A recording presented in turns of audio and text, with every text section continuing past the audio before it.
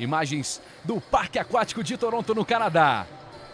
Já tivemos duas finais, as finais dos 100 metros livre, feminino e masculino. Já já entrega da medalha de ouro para o argentino. Grande prova do argentino Federico Grabit, que faturou o ouro. E a medalha de bronze para o Brasil com Marcelo Quereguini. E bronze também para o Brasil no polo aquático feminino. Vitória sobre Cuba.